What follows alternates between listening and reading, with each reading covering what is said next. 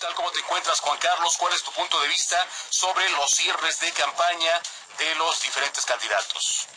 Rubén, muy buenas tardes. Como siempre, un gusto saludarte a ti y al auditorio. Mira, Rubén, empezaría por comentar algo que va a ser llamativo en esta elección.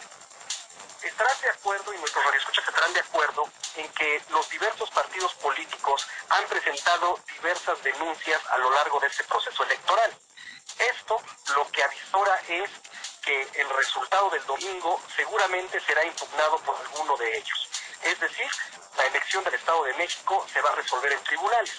Y vamos repasando cierre por cierre.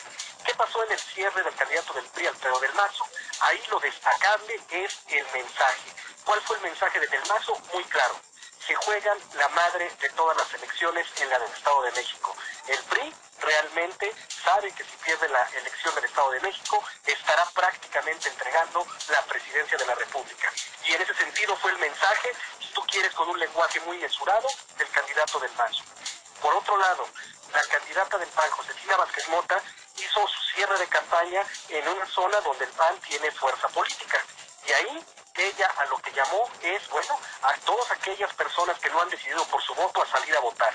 Si salen a votar todas las personas que hoy están en la mayoría de las encuestas, Rubén, como indecisos, bueno, ellos podrán inclinar la balanza a favor de uno u otro candidato. Y eso es a lo que le está apostando el Partido Acción Nacional.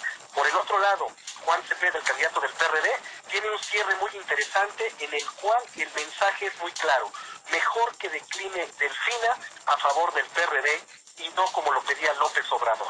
Ese mensaje, sin lugar a dudas, es un mensaje significativo por todo el entorno que se vino manejando días anteriores. Finalmente, la candidata de López Obrador. Bueno, ha sido una candidata que ha estado envuelta en la polémica a lo largo del proceso electoral y que su cierre de campaña no podría ser menos. Su cierre de campaña se da cuando se destapan cifras que hablan de 800 millones de pesos que el, su partido político Morena al día de hoy no ha podido justificar ante el INE. Ese entorno, bueno, eh, el, equipo de Delfina ha hecho útil y tuvieron un cierre en el que pretendieron enseñar músculo político. En estos cuatro frentes habrá mucho de qué decir el día de la elección. ¿Por qué el día de la elección, Rubén? Porque veremos seguramente acusaciones de fraude electoral, de acarreo de votos, de compra de votos y todas las artucias que ya sabemos que se dan en los procesos electorales. Sin lugar a dudas, es una final de pronóstico reservado, pero que se va a terminar por definir en los tribunales, Rubén. Pues estaremos muy al pendiente de toda la información que se va a estar generando. Agradecemos mucho tu comentario, muy oportuno, preciso, como siempre, Juan Carlos Zárraga Sarmiento. ¿Deseas agregar algo más?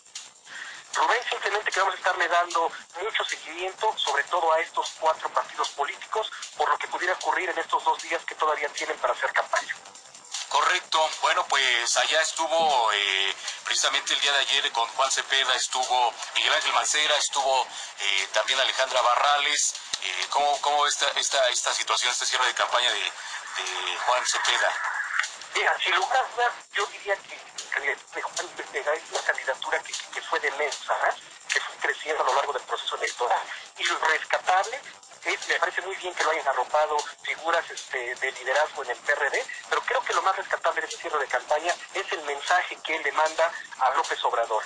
Mejor que decline Delfina. Y yo creo que en esos tenores se va a dar mucho de aquí al 2018.